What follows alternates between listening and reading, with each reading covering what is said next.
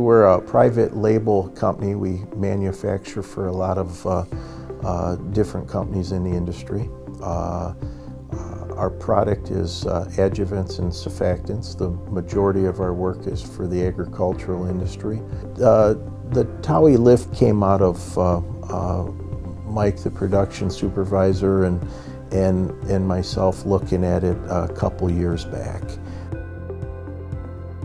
The number one goal is how do we reduce the amount of weight uh, uh, that our people are handling on a daily basis.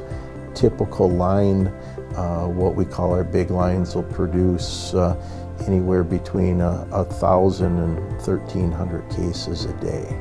So in certain situations, you could have a line uh, generating oh, somewhere in that uh, 70, 80, maybe 85,000 pound range uh, uh, per day. When I went to Bolingbrook, um, I brought two other employees with. They were cell leaders. Um, we brought down some of our product. It was some of the heavier product. I think it was about 60 pounds a box. We brought it down there. We tried it. We were there probably two, three hours. And the guys could use them within five minutes. Um, within two, three minutes, we were learning how to lift um, 60 pound boxes with two fingers within two or three minutes. So the learning process, real easy. We have three. We have three lifts, one on all the two and a half lines. Um, I'm running off uh, just two beams. They're all together with three pumps. Uh, the guys love them. Before TAWI, sometimes you would eat ibuprofen like M&Ms just to get the job done. But since we had the TAWI system hooked up, it's been a blessing. By the end of the day, we're not even near halfway burnt out as that we used to be before TAWI was installed. The guys love them. We used to fight. They used to fight over having to stack. Now it's like a toy to them. Now we can use anybody now.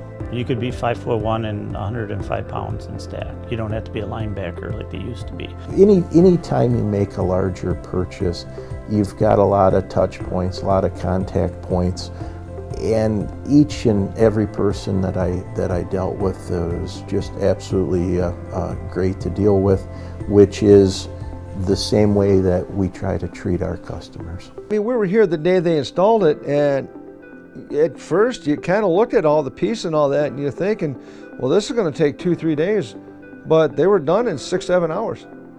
Yeah, they, they the installation was just amazing, just how quick they got it done.